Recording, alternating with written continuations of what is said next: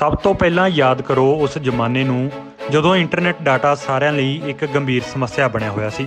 ਜਦੋਂ 1 GB data ਖਰੀਦਣ ਲਈ ਮਾੜੇ ਬੰਦੇ ਦੇ ਚੀਸਾਂ ਪੈਣ ਲੱਗ ਪੈਂਦੀਆਂ ਸਨ, ਕਿਉਂਕਿ ਉਸ ਵੇਲੇ ਡਾਟਾ ਬਹੁਤ ਮਹਿੰਗਾ ਤੇ ਹੌਲੀ-ਹੌਲੀ ਚੱਲਣ ਵਾਲਾ ਹੁੰਦਾ ਸੀ। ਤੇ ਉਸ ਵੇਲੇ ਰਿਲਾਇੰਸ ਜਾਣੀ ਜੀਓ ਕੰਪਨੀ ਨੇ ਮਾਰਕੀਟ 'ਚ ਅਜਿਹਾ ਸਸਤਾ ਇੰਟਰਨੈਟ ਉਤਾਰਿਆ ਕਿ ਆਪਣੀਆਂ ਵਿਰੋਧੀ ਕੰਪਨੀਆਂ ਨੂੰ ਇੱਕੋ ਝਟਕੇ 'ਚ ਖੂੰਜੇ ਲਾ ਦਿੱਤਾ।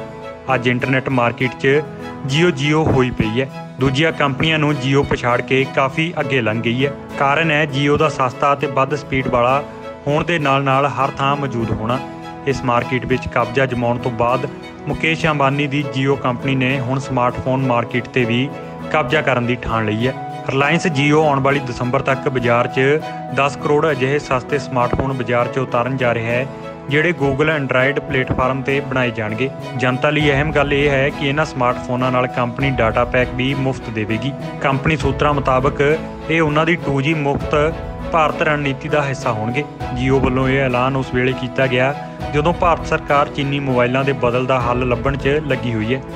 ਤੇ ਜੇਕਰ Jio ਦੇ ਮੋਬਾਈਲ ਜਨਤਾ ਦੀ ਕਚਹਿਰੀ 'ਚ ਖਰੇ ਉਤਰਦੇ ਨੇ, ਤਾਂ ਇਹ ਚੀਨੀ ਫੋਨ ਦਾ ਚੰਗਾ ਬਦਲ ਬਣ ਜਾਣਗੇ। ਦੱਸ ਦਈਏ ਕਿ ਲੰਗੀ ਜੁਲਾਈ 'ਚ ਮੁਕੇਸ਼ ਅੰਬਾਨੀ ਨੇ ਗੂਗਲ ਕੰਪਨੀ ਨਾਲ ਹਿੱਸੇਦਾਰੀ 'ਚ ਜੀਓ ਫੋਨ ਬਣਾਉਣ ਦਾ ਐਲਾਨ ਕੀਤਾ ਸੀ ਤੇ ਹੁਣ ਇਸ ਸਬੰਧ 'ਚ ਜੀਓ ਨਾਲ 4.5 ਬਿਲੀਅਨ ਡਾਲਰ ਦੀ ਡੀਲ ਵੀ ਹੋ ਗਈ ਹੈ।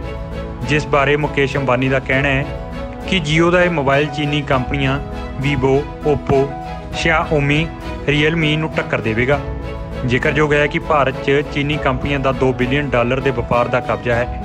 ਇਸ ਤੋਂ ਪਹਿਲਾਂ ਰਿਲਾਇੰਸ ਕੰਪਨੀ ਨੇ ਸਾਲ 2017 'ਚ ਜੀਓ ਫੋਨ ਬਾਜ਼ਾਰ 'ਚ ਉਤਾਰਿਆ ਸੀ ਤੇ ਉਸਨੇ ਅਨੁਸਾਰ ਇਸ ਲਈ ਧਮਾਲਾ ਪਾ ਦਿੱਤੀਆਂ ਸਨ, ਕਿਉਂਕਿ ਕੰਪਨੀ ਨੇ ਇਸ ਫੋਨ ਦੇ ਨਾਲ 4G ਡਾਟਾ ਪਲਾਨ ਤੇ ਫ੍ਰੀ ਵਾਇਸ ਕਾਲਿੰਗ ਦੀ ਸਹੂਲਤ ਦਿੱਤੀ ਸੀ।